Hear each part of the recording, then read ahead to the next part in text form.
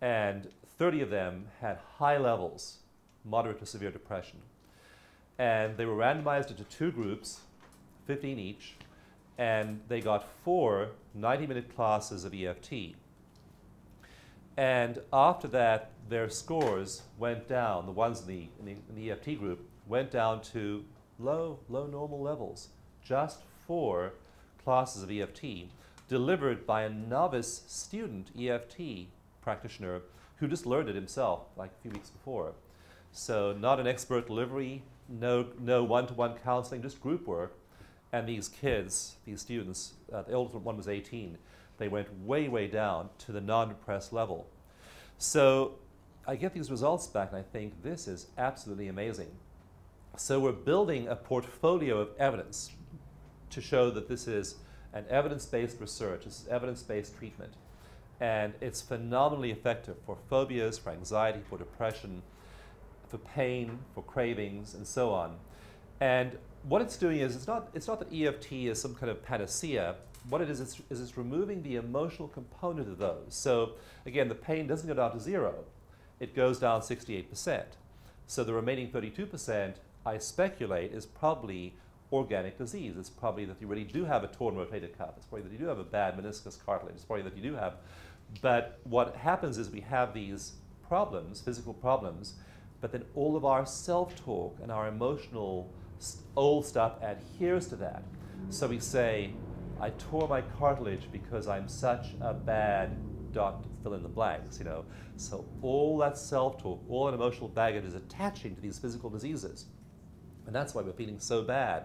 So if you go in there and get treated for that by a medical doctor, and you don't first of all remove this emotional overlay of problems, then you're medicalizing parts of your problem that shouldn't be medicalized. So that's why I, I say to people, get appropriate medical care, but make sure you take care of the emotional aspects of it as well, because otherwise you're trying to treat with, with modern medicine things that you should be trying to treat instead with emotional release.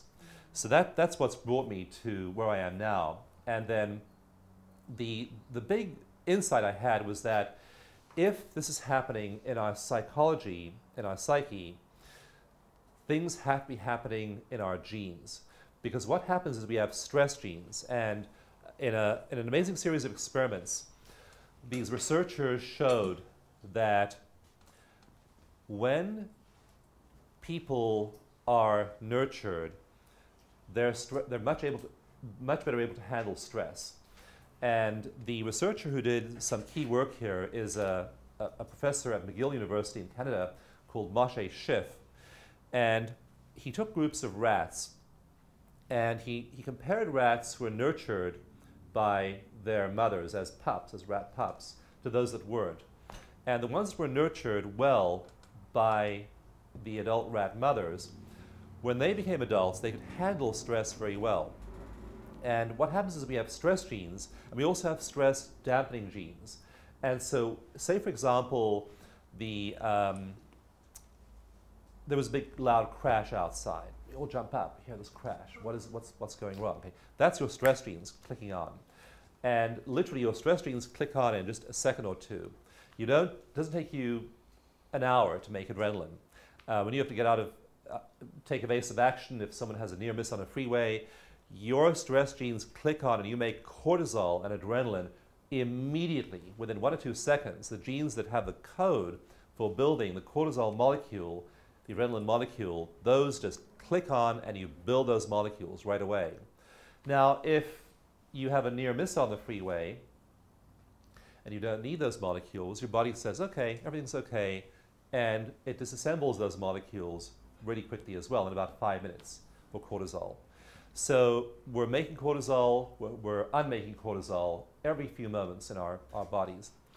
And our stress dampening genes are the ones that help us do that. So there are people who have fast acting stress genes and jump up and notice this, the loud noise.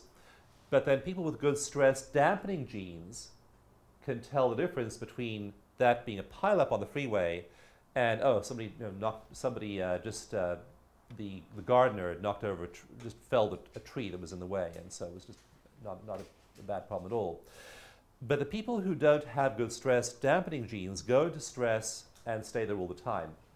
So Moshe Szyf did these experiments showing that, uh, that nurturing is epigenetic, that nurturing affects the genome, that these rat pups who are nurtured have the ability to handle stress as adults and then pass that behavior on to their offspring without any change in the DNA sequence. This is a major discovery in the last 10 years, one of the most major discoveries in science, that it's not your genes that are responsible for many of your characteristics alone, it is which genes are turned on and which are turned off. So we all have stress genes, but how good are our stress dampening genes at helping us distinguish was that really a problem or was it just an imaginary problem? Or when you think a stressful thought and you drive your body into fight or flight, can you tell the difference between a real problem? Is there really a tiger in the room? Or is it a paper tiger? Is it just a tiger in your mind you've thought about? Your body can't tell the difference. If you have a vivid, emotionally evocative thought, your body goes into fight or flight. It can't tell you, it's just something dreamed up in your mind. So that's why your body's being driven by these mental and emotional experiences all the time. So what Szyf did after his rat experiments was interesting. He thought, how can I test this in humans?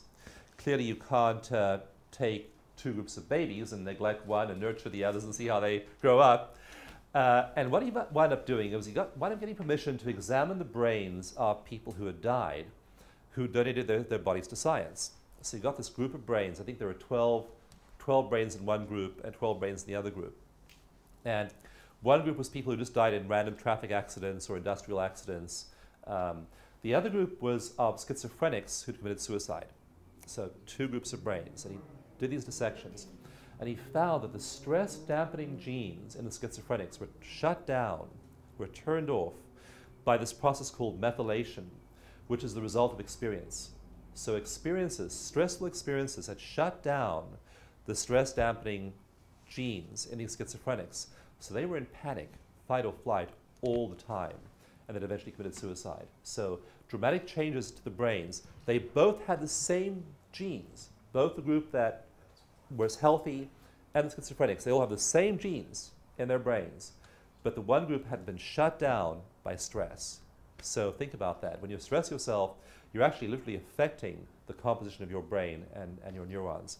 So that's what I write about in the Genie in Your Genes. That's the big insight I've had is that if we can show that things like EFT, by calming stress, are literally producing changes in our brains, then we have medical evidence that everyone, as part of their wellness, should be de-stressing themselves through meditation, through EFT, through positive visualizations, through positive self-talk, through therapy, through group therapy, whatever it takes to just let that little girl be at peace and the adult be at peace and not be stressing yourself all the time. That's why I, I talk about self love so often. Love yourself, take care of yourself, nourish yourself, nurture yourself. Maybe you didn't have a nurturing mother or, or nurturing father or nurturing childhood. So give yourself one right now. And we'll do some exercises later in the day that are to do with that. So, uh, what